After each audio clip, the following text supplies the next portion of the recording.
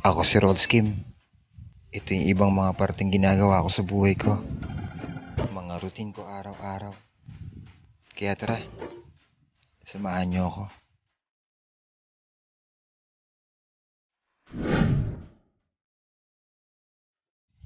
Bumabangon ako mga alas 7 ng umaga para gawin yung mga trabahong kailangan kong gawin. Ngayong araw na to, alam ko marami akong gagawin. So kailangan ko nang bumangon para magkape muna. Hindi nga pala ako mahilig mag-almusal. Kape lang, sapat na. Mas gusto ko kasing kumakain na lang sa tanghalian. Doon napaparami kain ko. So wala na akong sinayang na oras. Habang nag inventory nagkakape na rin ako. Dahil alam ko marami akong bibilin. Diretso palengke na nga pala ako. Sa San Felipe, Zambales. Doon ako namamalengke. Minsan, sa ibang bayan, kapag araw ng palengke, marami na nga akong suki doon eh. Kilala na rin nila ako. Nagugulat nga sila sa akin na ako yung namamalengke. Pero okay lang. Gusto ko naman yung ginagawa ko eh. At higit sa lahat, nag enjoy ako. Ngayong araw na to, alam ko marami akong bibilin. Naubos na rin kasi yung mga stocks ng weekend. Kaya sinulat ko na lahat para hindi ako malito. At kailangan ko na rin pala i-check yung mga seafoods namin. Mga pork, chicken, para masama na sa mga bibiling ko. Ito nga pala si Cloudy. Isa sa mga sweet naming mga aso. Napakabait niya at talagang maaasahan pa. Ngayon, ready na namin ni Ivan yung mga tables and chairs. Kasi mamaya-maya mag-open na kami. Sinet upan ko lang at pinunasan na rin. Kasi ibang mga guests namin eh, maaga nag-aalmusal. Madali lang naman gawin to. Mahirap lang yung nagwawalis. Masakit kasi sa likod. Masakitin na rin kasi yung katawan ko ngayon. So pagkatapos ko mag-set up dito sa labas, si Ivan naman dun sa loob. Nag-prepare na rin siya para sa mga kakailanganin namin. Hinahantay na lang namin yung mga kasama namin. Yung iba kasi on call lang. Working student. Kaya kung minsan late sila. Pero okay lang yun. Kakaltasan ko naman sila eh. Charot lang. So maya maya nagpahinga lang ako ng konti. Napagod na rin ako. At biglang dumating si Bella, yung unang aso namin. Shih Tzu nga pala siya. At saka may tatlong taong gulang na rin. Kailangan niya kasi lagi ng love and care kaya lagi namin talagang binubuhat to. Mahal na mahal namin to si Bella eh. Kahit na minsan mataray. Madalas pala. Gusto ko palang i-shoutout yung kapatid nito. Si Austin. Kamukhang kamukha ni Bella yun eh. Actually kay Kenny to galing. Kung hindi kay Kenny, hindi ko makukuha to si Bella. Kaya shoutout kay Kenny, yung pinsan ko. At shoutout na rin nga pala para sa kaibigan ko si Jill. Dati kong katrabaho. Nasaan ka man brother? Ingat ka lagi. Magpapaalam na nga pala si Bella. Kaya back to work na ako. Trabaho na naman ulit. Pero okay lang. Kasi gusto ko yung ginagawa ko at ah, marami ako natututunan. Hindi nga pala madali maglinis ng swimming pool. Grabe rin ang pag-aaral dito. At matinding pasensya ang kailangan.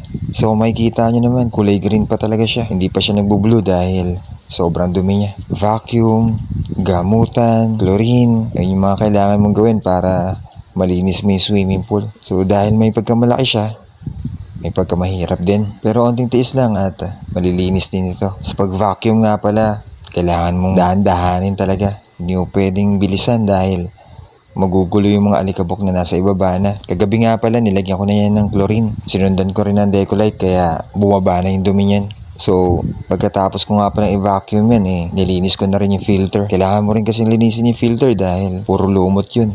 Tapos ibabalik mo uli, tapos vacuum uli. I-circulate mo lang yung machine para tuloy-tuloy yung paglinis ng tubig. Tapos kapag madumi pa rin, eh, vacuum mo lang uli. Pero matinding pasensya at kailangan mo talagang tiisin.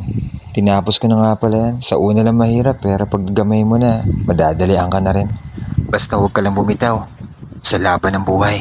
Sa una lang nan mahirap pero kalaunan, matatamo mo rin ang tunay na tagumpay. Basta inspirasyon mo ang mga mahal mo sa buhay, mga anak, mga pamilya, mama, papa, mga kapatid mo, yung mga nagmamahal sa'yo. Sila ang magiging lakas mo at motibasyon.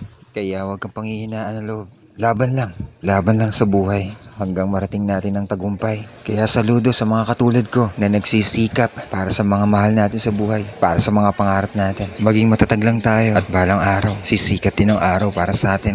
Mga pala magpasalamat sa mga kapatid ko. Sila yung isa sa mga motivation kaya sinisipag ako. Maraming salamat sa tulong nila at walang sawang suporta. Siyempre yung pagmamahal. Balang araw makakabawi rin ako sa inyo.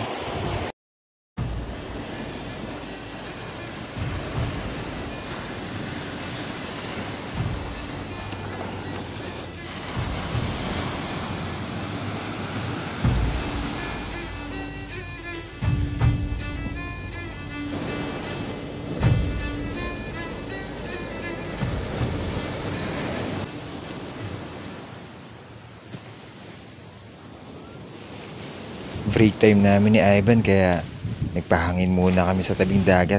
Maganda dito at maliwalas pa. Marami rin pupuntang guest kaya natutuwa rin siguro dito sa Zambales. Lalo na dito sa Luliwa, napakaganda dito. Simoy ng hangin, buhangin, yung lugar, yung dagat at bundok, napaka-presko. Malayong malayo sa kinagisnan ko dito sa Manila. Dito, totoo ang peace of mind. Nanonood lang kami ni Ivan ng mga nagsisurf, mga naliligo sa dagat, Magre-relax kami ng konti, pampawala ng pagod. Ang galing kasi nitong lugar na to. Para mawawala yung negatibo sa katawan mo. Ang sarap lang na tingnan yung kalawakan ng dagat. Ang lawak niya, parang di mo maabot. Kaya parang pag tiningnan mo, mawawala na kagad yung problema mo. Minsan ginagawa namin to kapag may free time kami.